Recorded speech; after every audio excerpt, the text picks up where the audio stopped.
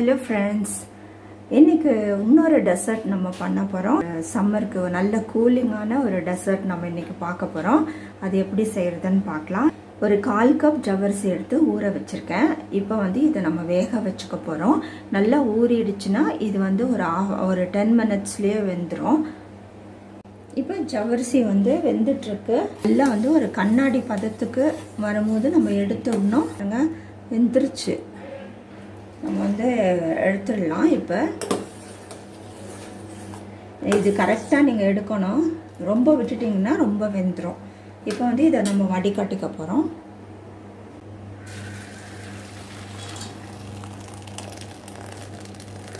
இது கூட கொஞ்சம் தண்ணி போட்டு நம்ம அலசிக்கலாம். அப்போ தான் நமக்கு அந்த உதிரி உதிரியாக கிடைக்கும். இப்படி கண்ணாடி போல் இருக்குது இப்போ இதை வந்து நம்ம தனியாக வச்சிடலாம். இப்போ இதுக்கு வந்து சப்ஜா சீட்ஸ் ஒரு டீஸ்பூன் வந்து எடுத்து ஊற வச்சுருக்கேன். எவ்வளோ ஆயிடுச்சு பாருங்கள் கொஞ்சம் தான் நான் ஊற வச்சேன் ஆறு பாதாமும் ஒரு டேபிள் ஸ்பூன் கேஷ்யூஸும் வந்து நான் சும்மா வந்து கோர்ஸாக ஊற வச்சு ஊற வச்சு கோர்ஸாக அரைச்சி வச்சுருக்கேன். இதுவும் நம்ம ஆட் பண்ணோன்னா ஒரு க்ரன்ச்சி எஃபெக்ட் இதில் வந்து நம்ம கொஞ்சம் பால் ஆட் பண்ணி கலக்கி வச்சுக்கலாம்.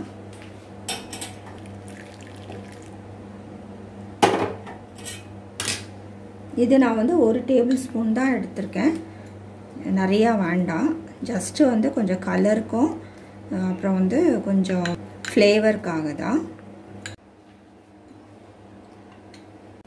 இப்போ பால் நல்லா கொச்சிடுச்சு நம்ம வந்து கஸ்டர்ட் பவுடர் ஆட் பண்ணி இப்போ நான் சர்க்கரை போடலை. நான் வெல்லம் ஆட் பண்ணுறதுனால நான் பாலில் ஆட் பண்ணல வெல்லம்.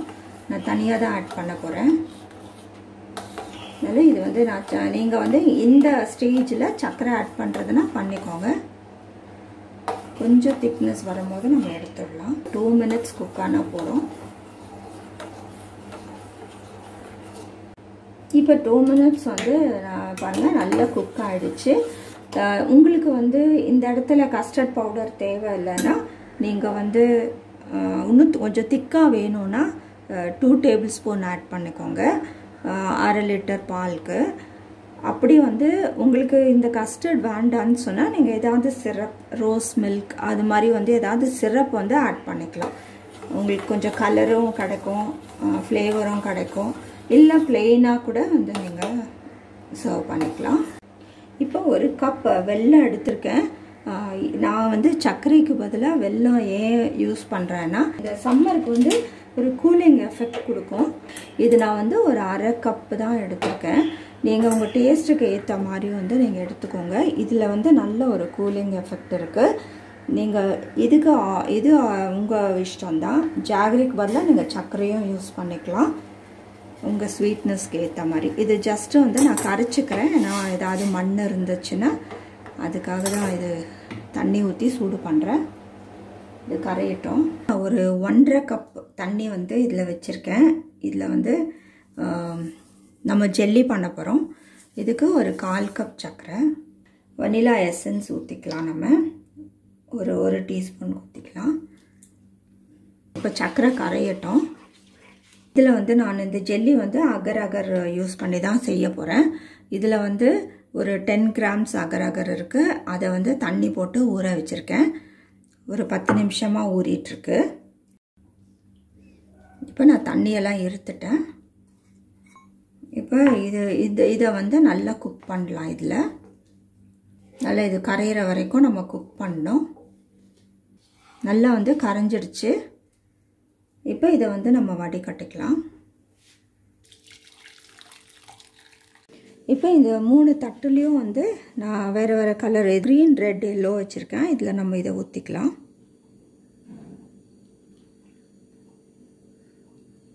இதை கலக்கி விட்டுருங்க. இது கொஞ்சம் ஆறின பின்னாடி நம்ம வந்து ஃப்ரிட்ஜில் வச்சுக்கலாம்.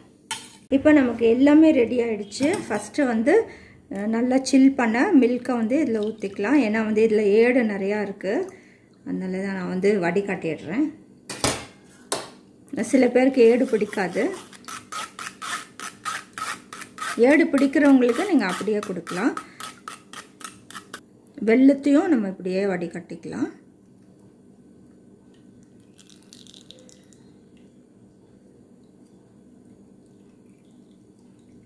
உங்களுக்கு ஸ்வீட்னஸ் வந்து எங்களுக்கு ரொம்ப தேவையில்லை. அதனால தான் நான் வந்து கொஞ்சம் தான் போட்டேன். நீங்கள் உங்களுக்கு இன்னும் தேவைன்னா நீங்கள் வந்து போட்டுக்கலாம். இப்போ சப்ஜா சீட்ஸ் போட்டுட்டேன். அப்படியே வந்து ஜவ்வரிசி இதெல்லாத்தையும் மிக்ஸ் பண்ணிட்டேன். அது வீடியோ ஆஃப் ஆகிடுச்சு எல்லாம் கலக்கி விட்டுருங்க. சப்ஜா சீட்ஸு ஜவ்வரிசி இதை மிக்ஸ் பண்ணியாச்சு. இப்போ நான் வேறு ஒரு பவுலுக்கு ட்ரான்ஸ்ஃபர் பண்ணிட்டேன். இந்த பேஸ்ட்டையும் நம்ம இது உள்ளே போட்டுக்கலாம்.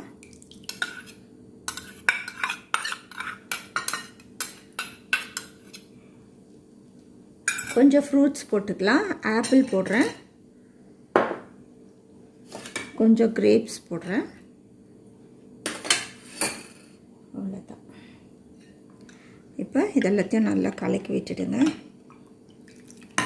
பாருங்கள் எவ்வளோ சூப்பராக இருக்குது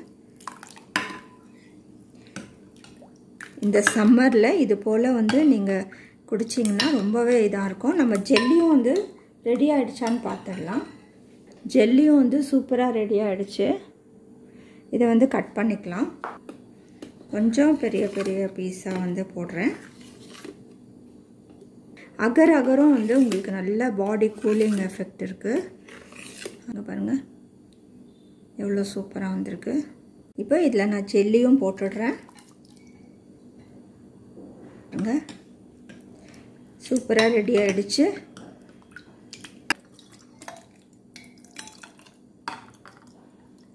இது இது போல் கிளாஸில் நீங்கள் சர்வ் பண்ணிடலாம்.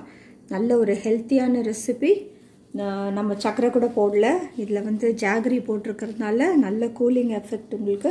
ஜவர்சி சப்ஜா சீட்ஸு ஃப்ரூட்ஸ் எல்லாமே உங்களுக்கு நல்ல கூலிங் எஃபெக்ட் இருக்குது அதனால் நீங்கள் இந்த இதை செஞ்சு இந்த சம்மரில் செஞ்சு என்ஜாய் பண்ணுங்கள் இந்த வீடியோ பிடிச்சிருந்தா லைக் பண்ணுங்கள் மற்றவங்களுக்கும் ஷேர் பண்ணுங்கள் எங்கள் சேனலுக்கு சப்ஸ்கிரைப் பண்ணலன்னா சப்ஸ்கிரைப் பண்ணுங்கள் தேங்க்ஸ் ஃபார் வாட்சிங்